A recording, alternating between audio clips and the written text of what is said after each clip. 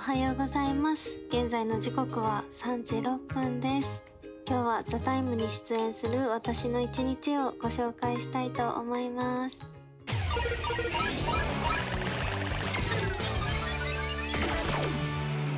今日のパジャマはこんな感じです。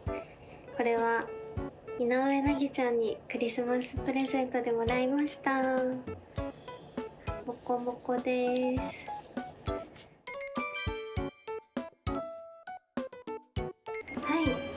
着替えも終わってそろそろお家を出る時間になったので今から TBS に向かいたいと思います。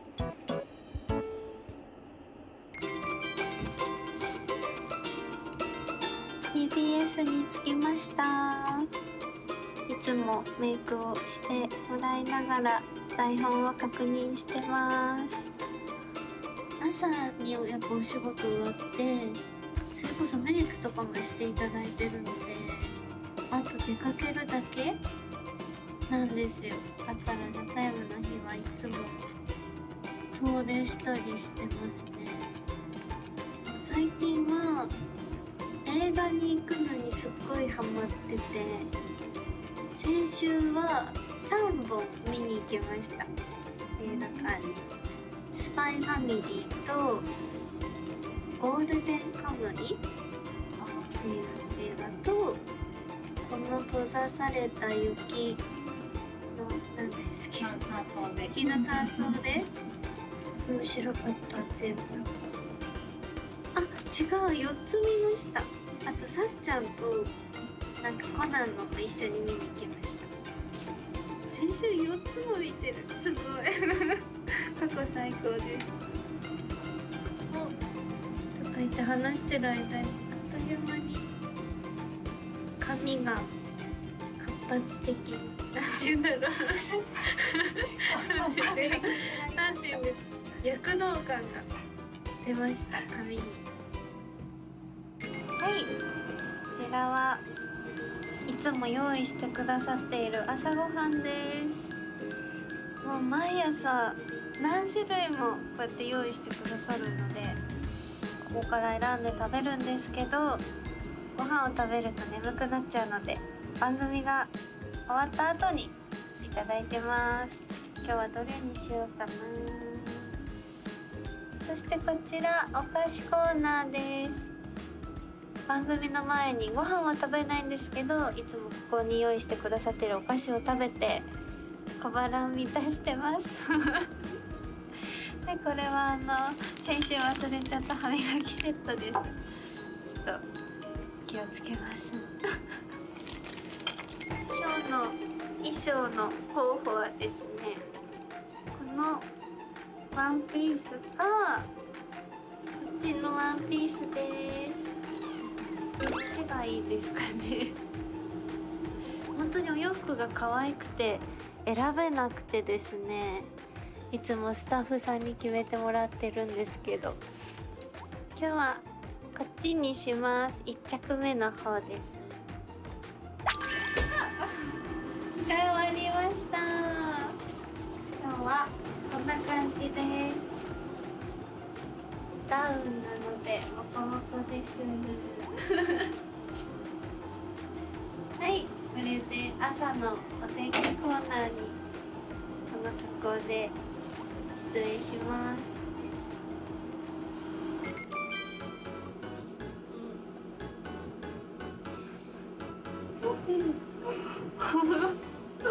ほいちゃんもちょっと悩んでいただいてこれだと思ったのに。僕やっぱあの押すのか入れるのか取るのか何択かじゃないなんか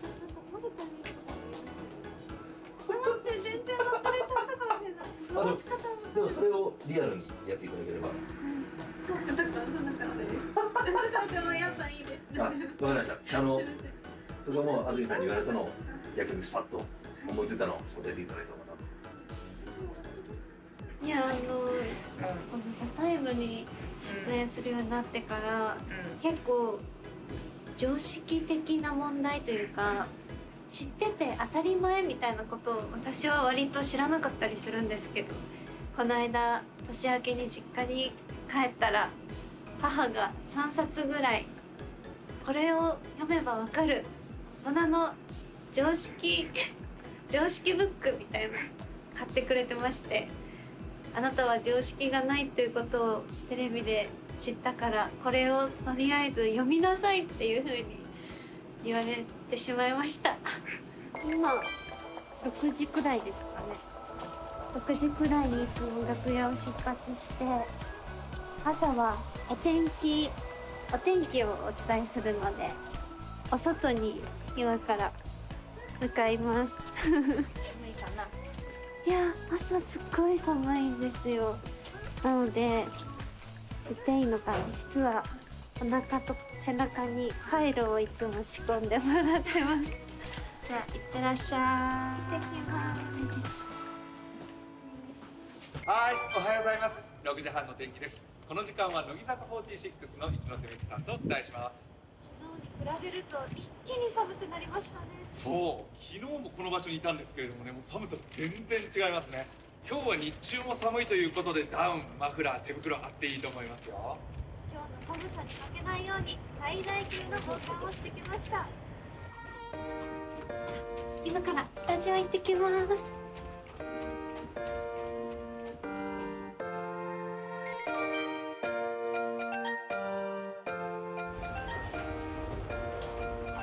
れ様でした。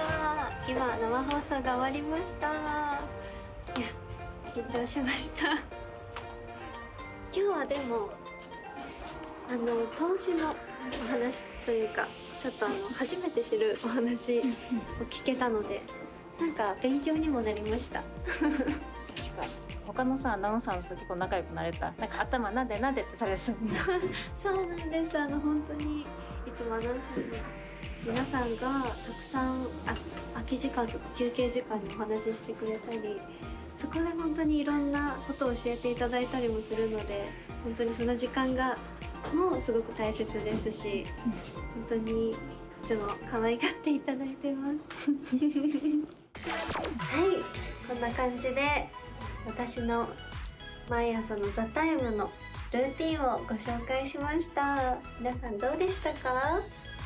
早起きして水曜日の朝を盛り上げていきたいなと思っているので皆さんもちゃんと早起きしてくださいねチャンネル登録と高評価よろしくお願いします。またねー。